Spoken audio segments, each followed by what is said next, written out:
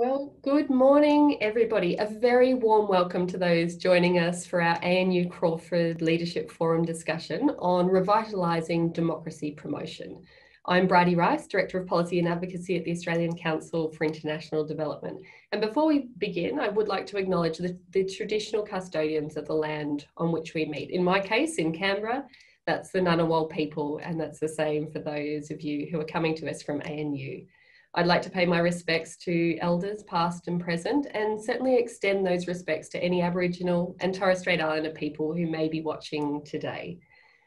This session will be recorded and it will be posted. So if you have to duck away for any reason, then you, can come back and check it out at a later date.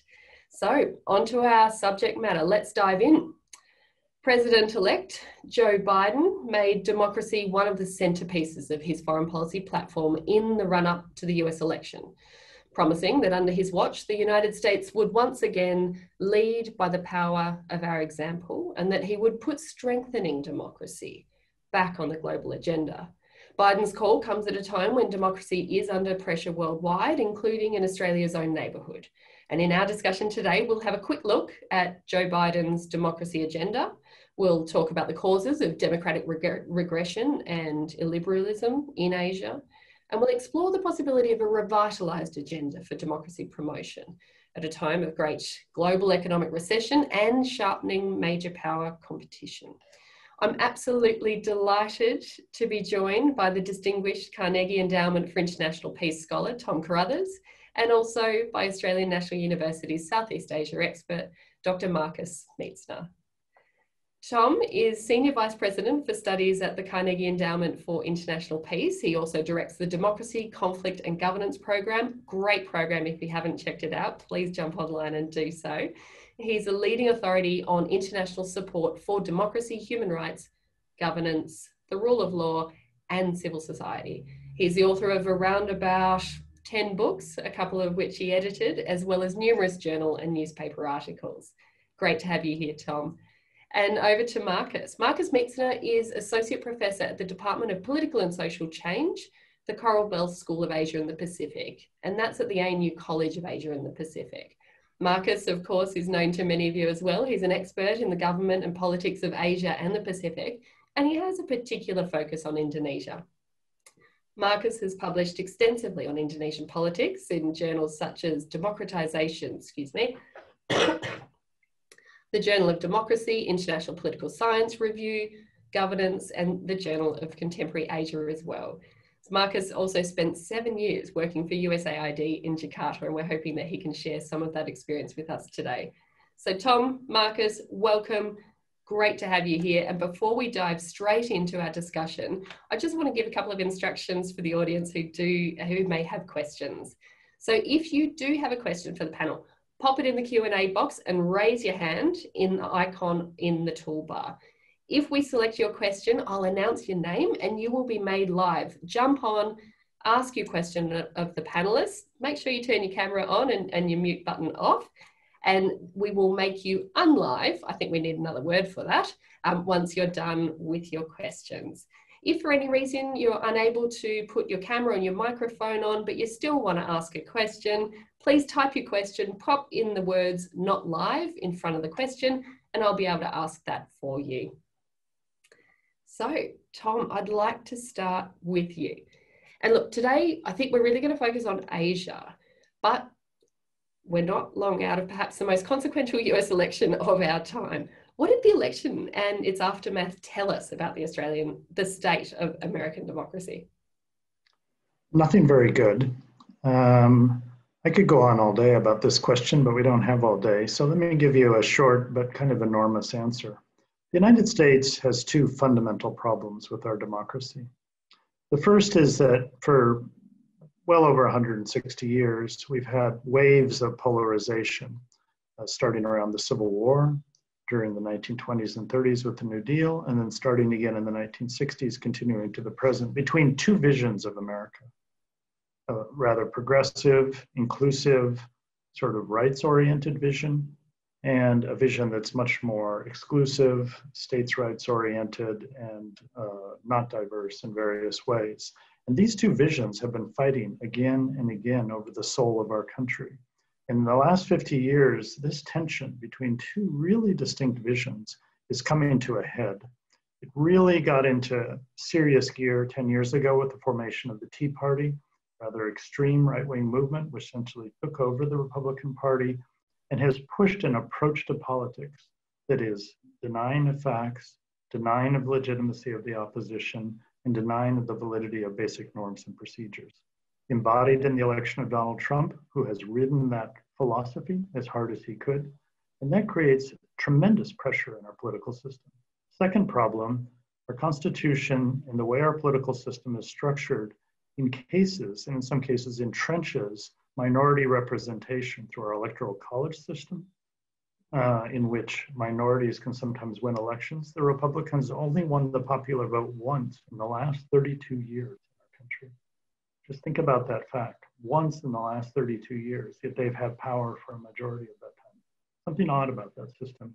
And a Senate where well under 50% of the population is overrepresented with well over 50% in the most important legislative chamber. So you have a system which entrenches minority representation in a very conflictive system between two sides, one of which is becoming a minority for various reasons and holds on to power through this representational system. So a deep division together with certain political structures encapsulated in this last election. We're experiencing at the very moment that we're speaking right now. The Electoral College is voting to resolve this election many weeks after it took place. So it's a sign of the conflict and a sign of the structural problem. So, Tom, you're painting a, a, a, vision, or two visions of democracy one based on uh, progressive and inclusiveness, and the other on exclusivity. Is how much it, can a new president really fix in this context? When you've had a division that's gone on for over 160 years, you know, in November, Mississippi voted and actually voted for taking down the symbol of the Confederate, the Confederacy from their state capital. 160 years after the Civil War ended, we're still negotiating the end to that Civil War in people's minds and hearts. And so one president can certainly do some good things, but cannot solve this division. What are some of the things President Biden will be able to do? He'll be able to change the tone of presidential politics to return to something like normal. He'll be able to pursue some middle ground measures, um, maybe simple things like uh, broadband access for all rural areas of the United States that are consensual and maybe not so divisive. He'll be able to have appointees and a team around him that respects the rule of law and abides by institutional procedures and practices. But he's not able to cure this just deep deep divisiveness and the anger on the right and the refusal to accept the legitimacy of anybody who's not part of their side. President Obama has a very revealing moment in his recent memoir, which I recommend to you, in which in the first few months of his presidency, he went to Florida at a time when he was very popular and he was doing good things on the economic recovery. He went to Florida, met with the governor, shook hands with the Republican governor, because a photo of him shaking hands with the governor was released, that governor was ridden out of the party and had to leave the party for appearing in a photograph shaking hands with the new president of the United States. So we're talking about a problem of political legitimacy, and they've now painted a new picture that President Biden is illegitimate because of the election. So President Biden can only overcome this rift by reasonableness, moderation, and just sticking with a certain kind of principled program, which I think he'll be able to do. It's not going to cure the rift, it's only simply going to manage it. So President Biden pledged to renew uh, US global democracy promotion. But can that be credible given these serious shortcomings in US democracy? It's going to be difficult. You know, if I go abroad to somebody and say, hey, I'm here to help you with your elections your political parties, you know, I'll probably have to pick them all off the floor because they'll have fell over backward laughing or crying you know, you're from the United States and you have something to offer me. But it is possible for countries that have flaws in their democracy to help others. Um, actually, no democracy is perfect. You know, France engages in democracy support. French democracy is not perfect. The UK does, Australia does, and others. So it isn't about perfection meeting a need. It's about being aware of your limitations, being honest about them, approaching it with a certain degree of humility, humility, and saying, we've learned some difficult things and we've struggled to overcome other problems which we haven't but we would like to engage in a kind of mutual learning process. You know, we've struggled with these things, you're struggling with them. Let's work together in some ways. And it is possible to change the tone of democracies where it isn't promotion and rah, rah, rah, and it's certainly not regime change. It's, hey, this is important for all of us. How can we make this a mutual learning exercise that we all take part in? We can learn from you, you can learn from us, we can all learn from each other. So the tone has to be radically different. But I think there's an awareness of that, but it's going to be difficult because when people hear the term democracy promotion, they immediately say, like, wait a minute, you're imposing something on me? And why you of all people? There's a lot to overcome. Mm, Tom, I'd love to come back to that and, and what it might look like in, in the future. But before we do, Marcus, what do you think about this same question and, and Tom's response? Can the US credibly champion democracy in Asia given the record of past years at home? Yeah, I agree with everything that Tom said. I would just uh, like to recall as well that the uh, US credibility problem with democracy promotion didn't start with Trump. Uh, this had a long history. Before that, the United States supported autocratic regimes throughout Asia uh, during the Cold War. And let's also recall that uh, George W. Bush, who was really very vocal about uh, democracy promotion, he had to explain to the world how he can square that democracy promotion with uh, an invasion of Iraq without uh, the approval of the UN and killing uh, quite a number of civilians in the process. So this is a long-standing problem of how US foreign policy, democracy promotion um, tries to gain credibility when so many of its actions outside of that particular portfolio stand against that.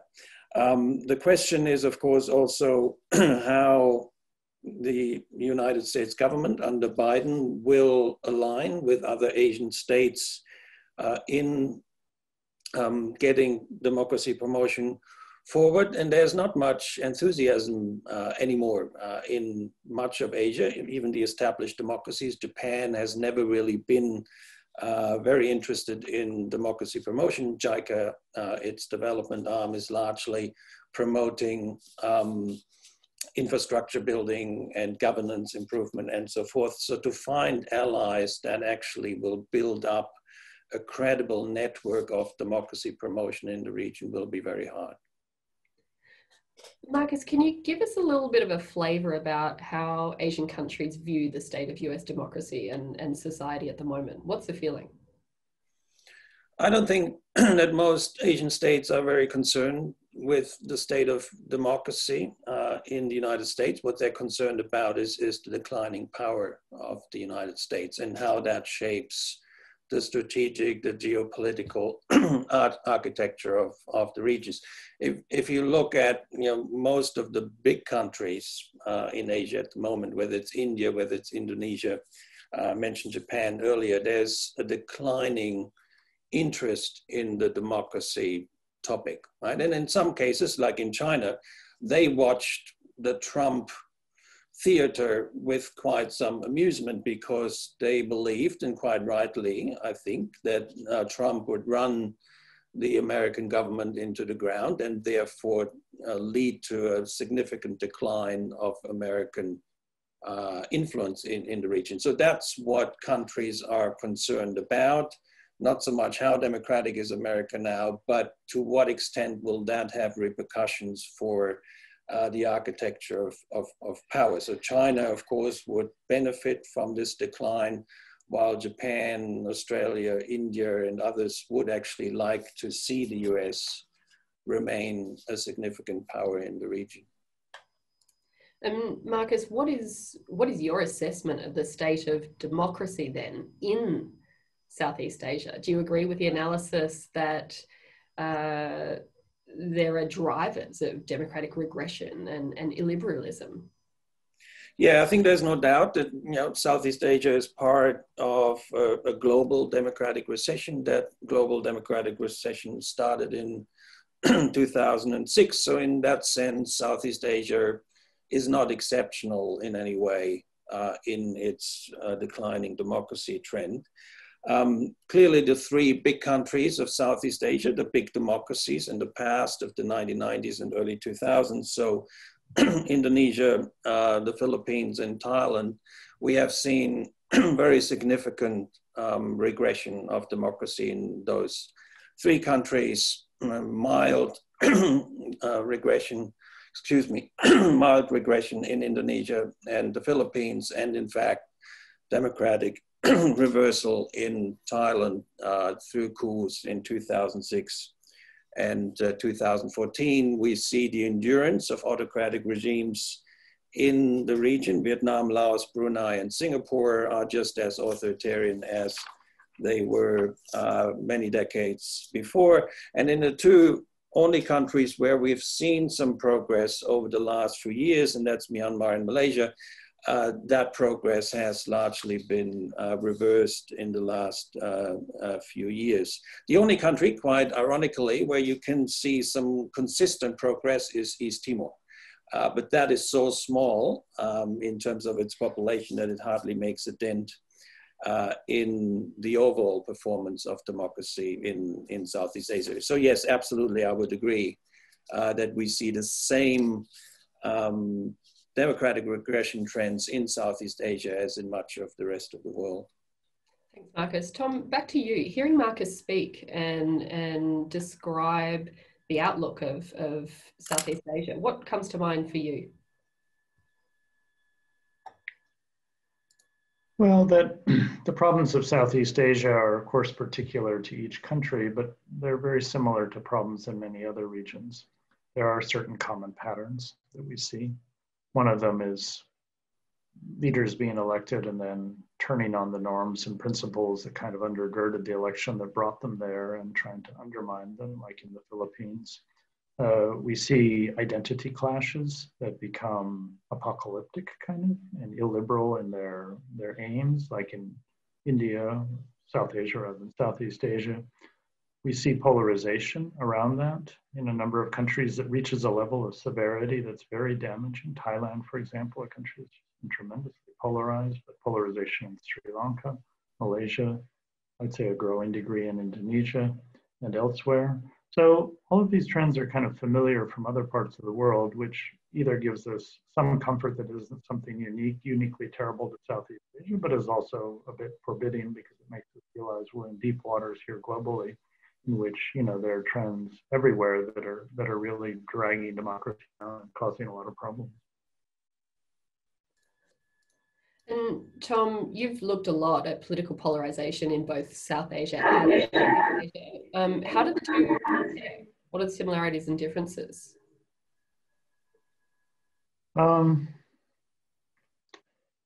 you know, when I look at, for example, polarization in South Asia and Southeast Asia, from a distance, polarization looks kind of similar. If you stand back from a country and say it's polarized, you know, it's kind of uh, looks the same. People are shouting at each other, they're not listening, they're denying the legitimacy of opposition, and so forth. But when you zoom in and look closer, huge differences, even within a region. Like in South Asia, for example, if you compare polarization in India with Bangladesh, it's two very different things. In India, the rise of Hindu nationalism, creating tremendous friction against a more progressive, inclusive vision of India, driving a kind of political narrative that's very exclusive and very illiberal in many ways.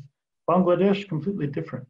Um, you had two sides fighting back and forth in the 90s and the first decade of the century that weren't really that sharply defined in identity terms, that were just fighting over the pie back and forth and more and more conflicted. They begin to take on some identity differences but it was really political elites battling it out for the sake of power. So even, you know, neighboring countries can have you say they're both polarized. When you look closely, they're different. Or then Thailand, there isn't about really ethnicity or that much about religion. It's about sort of a royal nationalist conception of power in Thailand and power structures versus more populist one oriented towards social class change and what Thaksin represented. So every country, when you zoom in on polarization, looks remarkably different in sort of what are the drivers of it, who are the political entrepreneurs who are taking advantage of it and using it for their own purposes and so forth. So the South Asia, Southeast Asia comparison may not be as you know indicative of just actually comparison country by country. Take any two of the countries in those two regions, hold them next to each other, and you'll see startling differences in why they're being polarized, why illiberalism seems to be growing, and so forth. It's a nuanced view. So, Marcus, we're, we're hitting on some pretty big trends here. We're talking about democratic regression, illiberalism, polarization. I have to ask Has the pandemic had any significant effect on these trends? What have they been? Tom, I'll stick with you and then we'll, uh, we'll go over Marcus. I'm just about to publish an article on Tuesday or Wednesday in a journal called Just Security called Confrontational Politics and the Pandemic. What I say in the article is that when the pandemic started, you know, there are kind of three manifestations of confrontational politics protests, massive anti government protests, polarization, two sides conflicting, and populism, illiberal populism smashing against the system. When the pandemic hit, we kind of thought some early observers hoped that the pandemic might tamp down all these things. Protests, hard to protest if you're afraid of going out and getting infected, new restrictions, polarization, maybe countries will come back together to fight the pandemic. And populism, maybe populists won't do well in the pandemic because they won't take it seriously, they'll engage in fact denial and so forth. But at the end of this year, when we look at the record, unfortunately, the pandemic has ratcheted up all three of these. Protests are back. There are more protests in December, significant anti-government protests than in January before the pandemic. Polarization, every country that was significantly polarized going into the pandemic is as much or more so now, starting with the United States. And populism, populists have not done badly in the pandemic. Donald Trump got more votes in November after mismanaging the pandemic for nine months than he did four years ago. Um, Modi's done fine in the pandemic. Bolsonaro is more popular in Brazil today than he was nine months ago. And so protests, polarization, and populism have all gone up this year. The pandemic has not been a healer, a unifier, and a calming influence on the politics of countries. Marcus, how has the pandemic affected these trends in your world? The first thing to say uh, in, in, the countries where democracy and democratic quality declined during the pandemic, we already had severely damaged democratic structures before that. Yeah, and Aurel Croissant has referred to that as pre-existing conditions in many of these uh, democracies. So there wasn't a well-functioning democracy that suddenly was thrown into deep democratic decline uh, by the pandemic.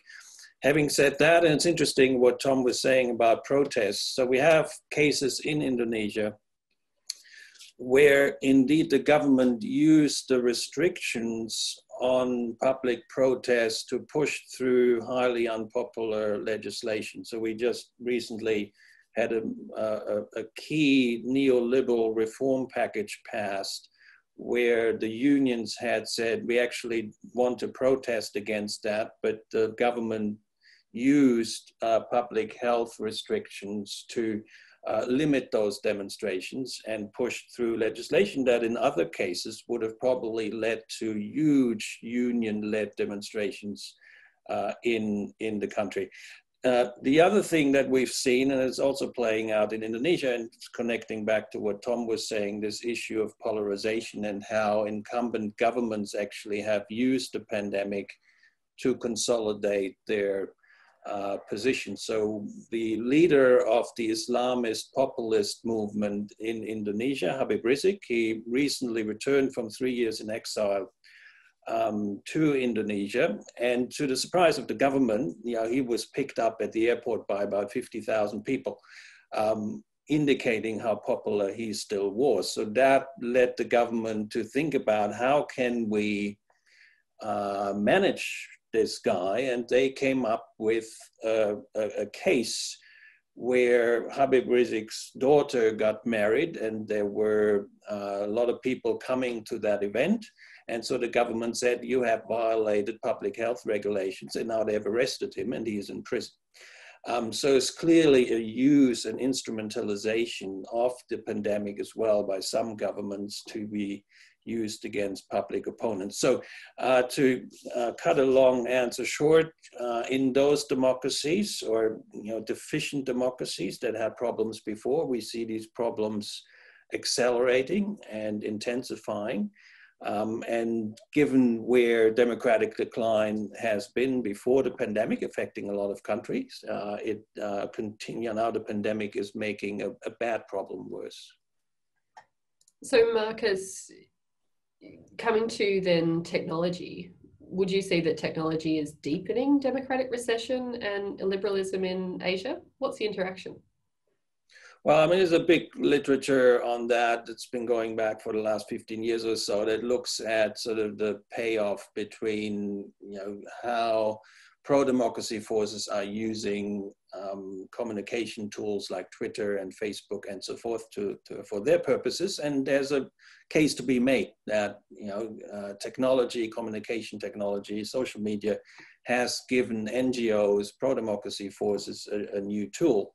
There's an equally strong literature, of course, now that says that you know authoritarian governments have discovered too how to uh, use this technology. And the trend at the moment is, if I look at Indonesia, is that actually conservative forces, autocratic governments, elite um, actors are more shrewd in, in using this technology. I've seen a, a, a survey the other day that says, you know, two thirds of the communication that's going on in uh, on Twitter in Indonesia is dominated by religious conservatives, political conservatives to push their agenda. So actually the liberal uh, discourse, uh, which is also taking place, but is a minority discourse, is pushed into the background.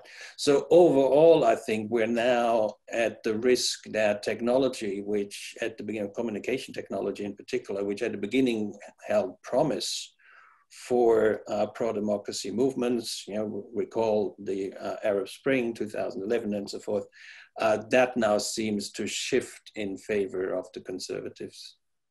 Thanks, Marcus. I'd like us to switch gears now and, and start talking a little bit about um, the promotion of democracy in practice. But before I do, just a reminder for all attendees, please pop your questions in the Q&A box. We will be coming to them in around about five or 10 minutes. So it'd be great to have your questions in there and, and for us to foster a bit of debate from your end as well.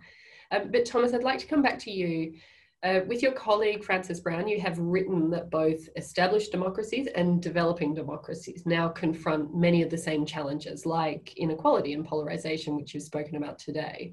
And you're talking a lot about democracy building as a mutual learning exercise rather than an export exercise. What does this look like in practice? Well, let me give you a good example, a very concrete example. Back um, in the early 2010s, uh, a number of countries started something called the Open Government Partnership. It was announced by President Obama and the Brazilian president side by side, standing next to each other, a developing democracy and a more established democracy. And the principle of the Open Government Partnership was a whole bunch of countries step forward and say, open government is very important to us, but we could do better in our own country we're going to take responsibility to come up with an action plan for our own country, which we're going to articulate of things we can do. And then all of us are going to come together, put our action plans forward, agree to support each other in this endeavor. We're all on the same playing field. We're all, you know, this is a horizontal exercise, but we're going to work together to try to reinforce each other, reinforce the norm, and create a positive cycle of reinforcing the norm internationally and bringing it home domestically, and then vice versa that was an example of something that's an issue of common concern. It's a different kind of approach to the issue. We're saying you decide what you want to do in your country. Um, you articulate your goals, and then we'll see if we can support you, and we'd like your help supporting us. It also was different because it put civil society groups, governments, somewhat on a level playing field, and then a number of civil society groups built into the partnership were part of the steering committee, part of the action-oriented follow-up, and said, we need your help in figuring out how to do this and monitoring and so forth. So it's not revolutionary and it hasn't transformed open governance around the world, but it's an example of where it's not export oriented, it's, it's sort of import oriented, and everybody's trying to figure out how to make this work. We could do much more on anti-corruption, for example, which is an area that people really care about around the world. Anti-corruption has become anger over anti-corruption has become one of the biggest drivers of disruptive political change in the world. I did a study a couple of years ago it showed that 10% of regimes in the world have fallen in the last five years because of public anger over corruption. That's significant. And so anti-corruption is an issue that connects countries all around the world. And again, it's mutual. In the United States, we need to do better. Um, government and ethics act we need. We need a lot of improvement in you know, beneficial ownership of corporations and things. but others need to do better too. We can all rise together on this issue or we can all fall together. So we need to define issues that are common concern, create shared mechanisms where people come together and agree on it, take them seriously, and then push them forward across a whole set of domains, whether it's open government, anti-corruption, free press, civil society space, and on and on. So I, I think there is a vision that's already been tested we need to take it further and take it seriously and spread it out to other other countries as well, other issues and places as well. And do you see democracies like the US and Australia still concerned by these issues, or are we too busy worrying about the basics of health and education as a as a result of the pandemic right now? Mm, you know, there's room. There's room in the scope. When at least in the U.S., when a new administration comes in, uh, there are many people who've been ashamed of what the United States has been presenting on the world stage. Ashamed to have a leader who calls dictators and cozies up to them on the phone and tells the Chinese leadership it's fine. They're doing what they do with the Uyghurs. It's shameful. There are people who'd like the United States to stand for something better and are ready to do that. And actually, a majority of the US population, when asked in the right way, not do you want to take responsibility for all of the world's problems, guess what? People say no. But you say, would you like the United States to stand for principle and values that are dear to it? People say yes. So it is possible. And Australia, you know, made a rather decisive turn, at least in the framing of its foreign policy in recent years, with something more of a values agenda. Now it needs to figure out what that really means. It's really just about concern over Chinese influence in Australia and Chinese influence in the region? Or does it have a deeper meaning in terms of how Australia positions itself in a region which, as Marcus describes it, is pretty daunting? Australia is, you know, um, a little bit lonely out there in terms of thriving democracies in the neighborhood where it lives, together with New Zealand and a couple of others. And so, you know, Australia needs to feel that there's a way for it to stand for democracy, but still be a good regional partner to a number of governments that are important to it. And so it's a big challenge for Australia as well. Thanks, Tom. We've taken a turn actually into uh, an area, particularly around the, the values type arguments that one of our attendees has sent a question in on. And Amrita Marley from Save the Children, uh, also an analyst from the ANU, is asking both of you specifically with nationalism and Asian values and democratic values type arguments now back on the rise, what are the best ways for governments and civil society organisations in Australia and the region to demonstrate principled support for democracy without being seen as bearers of exclusively Western type values?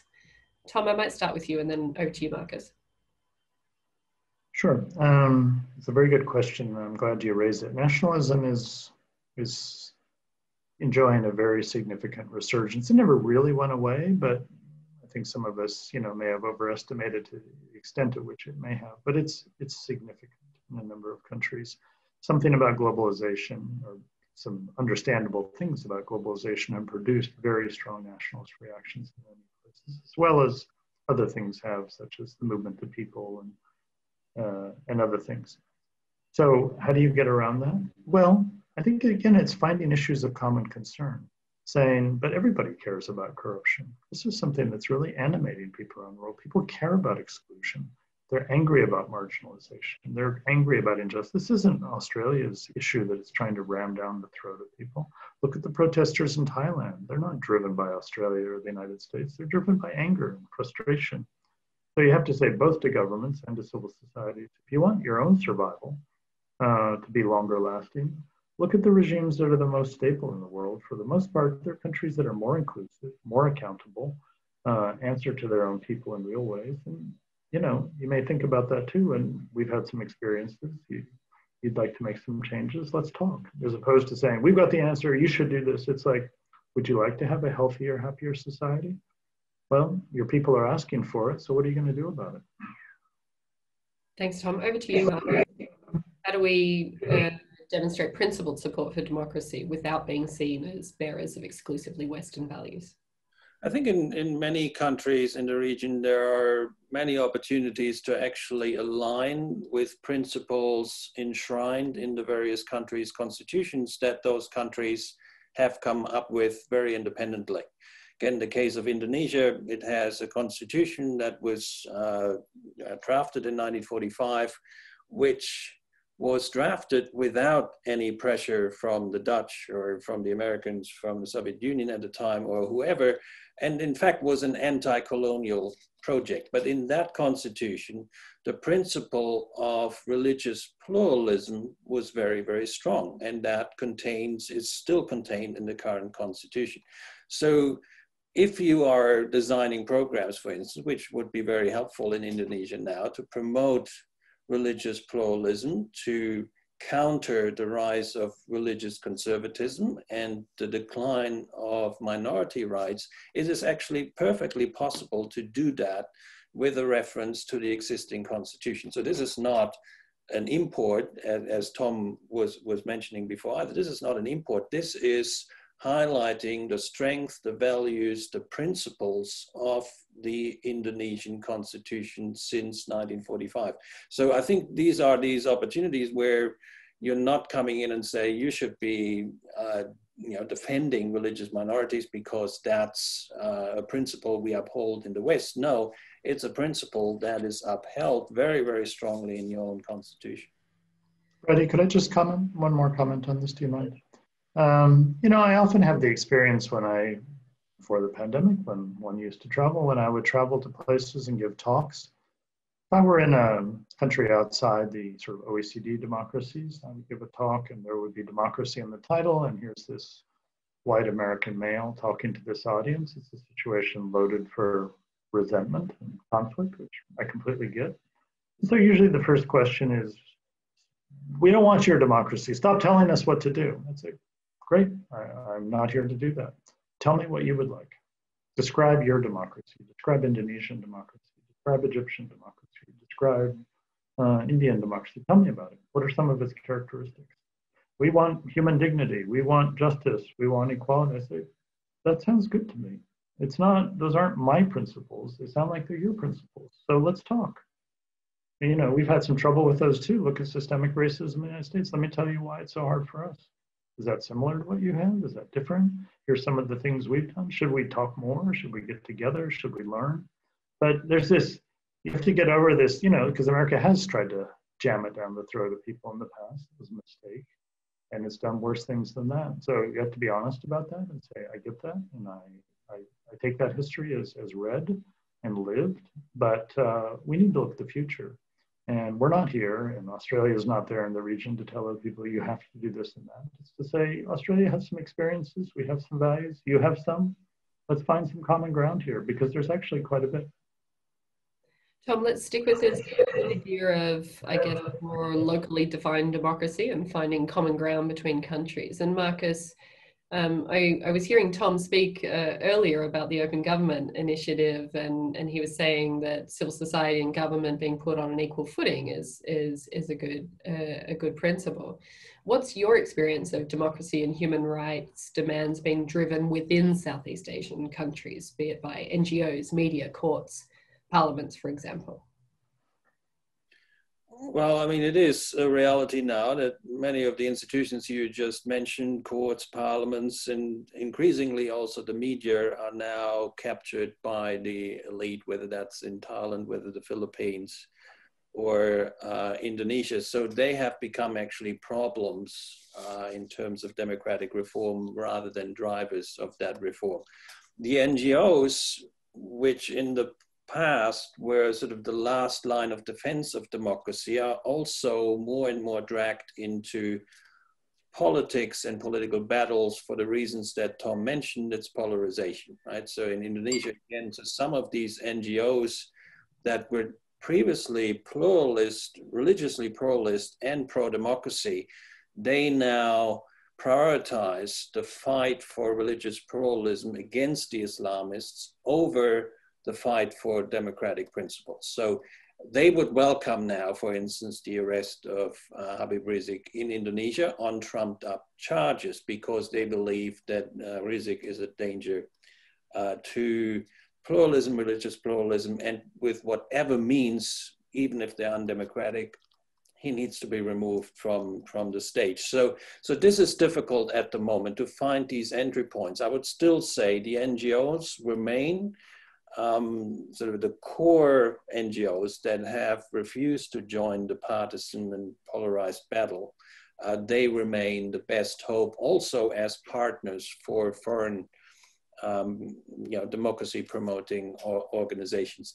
The, the, the state institutions, I'm afraid to say, are more and more partisan, they're elite captured uh, and are part of, of the problem. And to some extent, that's my experience over the last 20 years in Indonesia, to some extent also resistant to reform.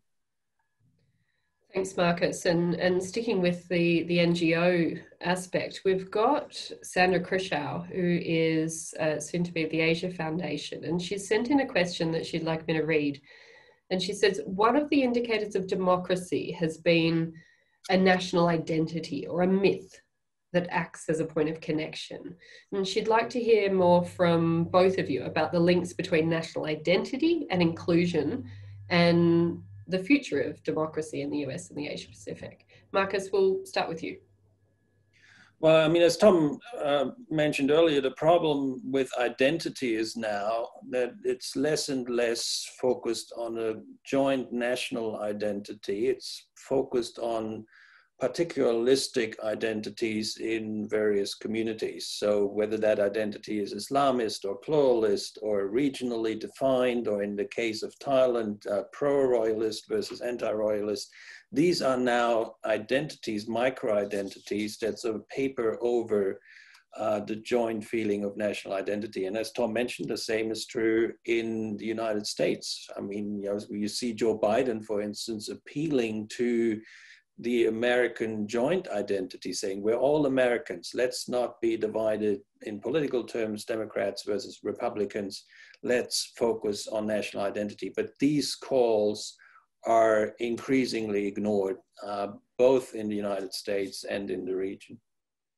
Seems to be a characteristic of politics in our age. I don't know, Marcus, why you think this is happening. I puzzle over it, but it's everywhere something about in this century it's this new quest for exclusive identities or, or particularistic identities it's as though the 20th century was this age of universalistic ideologies like communism where indonesians across all different stripes would join a communist movement and fight together for the goals that they had versus you know the anti-communists or fascism which was a universalist kind of ideology in the places where it gave root.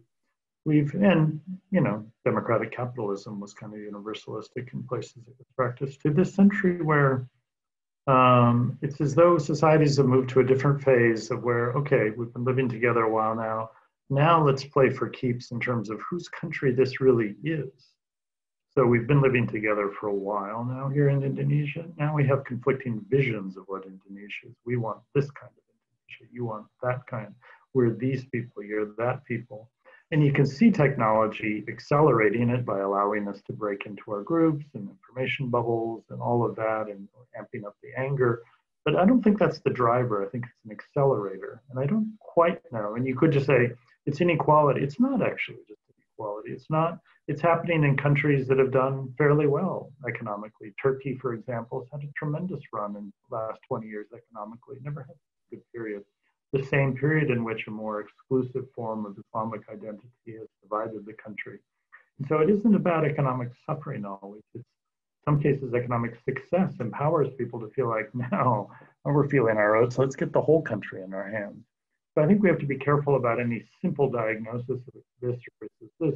But on the other hand, everywhere I look, I see people striving towards these more particularistic identities. And it's, it's very hard in a democracy to make a democracy work well when people have conflicts that are primordial, as opposed to just, I want this tax policy, want that tax policy. It's, you're different from me. I don't like you because you're different. In fact, I hate you because you're different. And my people are not going to work with your people, etc. So it's a, it's a deep, a deep trend that's occurring and one we really have to think carefully about. Marcus, if you got further no, I think that that's perfectly right. I think just that in terms of historically explaining it, at least in some of the Southeast Asian countries, uh, we shouldn't forget that, of course, the whole notion of joint national identity was used, misused by many autocrats for about half a century. You know, whether mm-hmm. Sukarno or Suharto, uh, who were telling Indonesians, you can't yeah. have differences, you must fit into. Mm-hmm. That's right. I'm telling you what this national identity looks like. So once uh, the Suharto regime fell in 1998, of course, we see this explosion, this oh, reaction yeah. against that saying, but you know, I have sort of uh, given up my identity for the last half century. Mm-hmm. Now I'm driving mm-hmm. to the extreme. So this is, I mean, again, as you say, it's different in each country, but you know, sort of this misuse of national. No question. Uh, You're right. Identity, I think, is important. Yeah, no. The first phase of decolonization was an enormous period of enforced nation building that suppressed a lot of things that are now coming to root bruised. It's a bit more puzzling why, you know, the UK is, falls apart over its identity or are we part of the European Union or not? They weren't suppressed for 50 or 100 years, yet here it is. We have to have a moment of four years of the most tedious debate possible in the UK over should we be part of the European Union? Amazing. It really is amazing, actually. Alrighty. I've got a question in here from Michael Maley for you, Tom. And he's asking, is there any, in caps I might add, is there any aspect of the US political system which could be recommended for adoption by a new democracy? Interesting question. Wow, I have a long list here. I could unfurl it of things I, I wouldn't recommend they adopt. Um,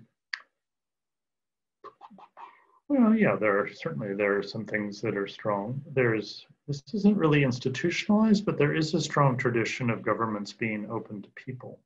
Our, our government is quite transparent in many ways, and it's quite interactive. Um, my wife is not American; she's European and um, comes from a country that has a stronger central state. She's kind of amazed by by the many ways in which you know, like the local council person comes over to the neighborhood and wants to know what everybody thinks and such and asks people and has meetings in the neighborhood. And then neighbors are unhappy about something, they get together and sue somebody. She's always amazed how activated everybody is all the time. The country she's from, they they don't do that kind of thing. Um, so there's a kind of interconnection between citizens and and the government at all levels that's healthy, that it's a good thing. It's helped democracy survive in the last four years of an overbearing president who's basically a liberal. And then the other thing is the rule of law is strong in the United States. People have a powerful respect for courts. They're politicized, the judicial process, election process.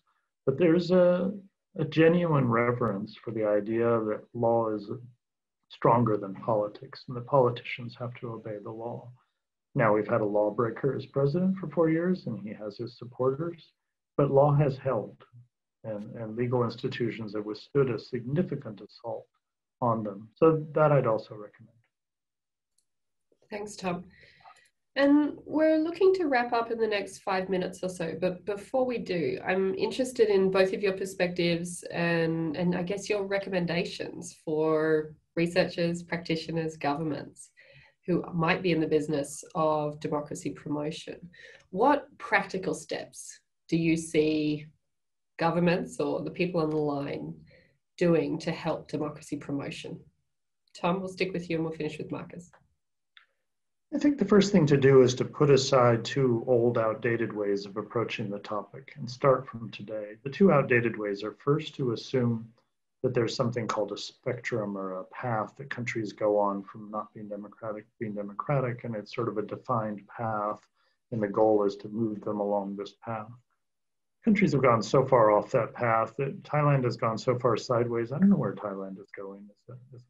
I don't know where Myanmar is going. I don't know where Sri Lanka is going, you know. And so throw that idea out. And then secondly, throw out the idea that democracy promotion is about successful democracies helping less successful democracies. That's over. That's that's you know a vestige of another time. Now it's a question of how can countries work together on common challenges. And so, so you really have to go into the topic in a very different way and arrive in a country. And if you want to help, take seriously the fact that that country is on its own path, defining its own terms. And you have to get inside the bloodstream of that to understand where change might occur, what citizens really want, how they're organizing, etc. And then you as an outsider, what are you really bringing to this? Yes, you come from a country that's somewhat more successful, maybe. You're from Australia, at least, democratically than that country. But what does that really mean in terms of what you're offering? Why are you there? How are you going to be viewed? What might you sort of uh, put forward as resources, either intellectual or financial. So it's put aside the past, start from today, but assume that it's possible. Of course, it's possible. Countries can help each other, people can work together across borders. So you've got to throw aside the past, engage in the present, and be ready for some much deeper and actually more interesting challenges. Thanks, Tom. They sound like of international development and uh, and a nice common sense approach to finding common ground. Marcus, over over to you. Yeah, I agree with everything that Tom was saying, and it's also worth recalling that you know we are now in a much more difficult landscape of democracy promotion than we were about 20 years ago. You know, you know when uh, in the sort of last phases of the third wave of democratization. You know, USAID had a really, really big program in Indonesia, and the government was willing to accommodate a lot of the assistance that that was offered. That has now completely changed, and countries are even those who are now in a process of democratic transition uh, much more reluctant to take on these offers of democracy promotion. I mean, Egypt was a, a catastrophic example where USAID came in with the old model and basically collapsed uh, within a few years uh, in, in that country. So even prior to the military taking back back powers. So uh, governments are much more self-confident, are putting uh, significantly more constraints on donors to do the programs that they actually would like to do. Um, and they're essentially telling donors, you know, if you're not synchronizing, and that's the, the buzzword now, synchronizing your work with ours, we don't want any of it. And the risk then is that essentially a lot of donors are switching into the side sort of aspect of technical assistance, which would be no longer, uh, you know, democracy promotion work, really. It, it's then technical assistance to a ministry or even the Anti-Corruption Commission and so forth. And it's leaving uh, because of the attitude of the host governments, this initial arena of, of democracy promotion. So I find it very hard, I and I'm still engaged. I'm still a consultant on some programs uh, in Indonesia, but it's extremely hard um, to push a pro-democracy agenda that is uh, not just purely technical in nature. I mean, so I was, for instance, I'm a consultant on an anti-corruption program that USAID was funding for the last five years, and it worked pretty well. And there was technical assistance to the Anti-Corruption Commission. But then the government decided that they wanted to essentially dismantle the commission and take its powers away. So all of that technical work was for nothing, right? So because there was also a, mismatch between this micro technical analysis and assistance that was given to a government institution and what the government up here was was willing to do. And so now the Anti-Corruption Commission in Indonesia is largely disempowered, not because of any failed programming uh, but because of elite decisions that are made outside of anything that's happening in democracy promotion. So that's that's an extremely difficult environment. Uh, anyone who is now working in democracy promotion has to step into. Thank you, Marcus. And that's a good note to finish on because I think that governments in both the US and Australia share a rich history of understanding in spaces like the rule of law and governance and what I would call the people power and politics of democracy promotion, not just the technical promotion as well. So, look, with that in mind, I'd like to first of all thank our panelists, Marcus and Tom. It's been an absolute pleasure to listen to you both today, to hear you interact and to share your views. I think as an audience, we're going to come away with a few messages that certainly resonated with me. And the first is that, sure, democracy promotion is a tough game. It's not a linear process, and we need to be in it for the long haul. But we also need to let go of some old ideas, and specifically the idea that you go from being undemocratic to de- democratic along in a linear spectrum is something that doesn't sound as though it's going to be helpful for either of our countries and our engagement, certainly in, in Asia and other parts of the world going forward. Um, finally, the, the other message that I heard loud and clear today from both of you, and particularly given both of your experience working with donors and, and governments as well, is that democracy is not about government alone. It is not a process of export. And if we are going to engage in democracy promotion, then it needs to be on local terms with common understanding and common ground. So thank you very much, uh, Tom Carothers and Marcus Mietzner for joining us here today at the Crawford Leadership Forum. It's been an absolute pleasure to host you both. And to the attendees, we had around about 30 online the whole way through. Thank you for joining. Thank you for your questions. And we hope to see you back here at a number of other panels next year. So thank you very much to everybody. Have a great day.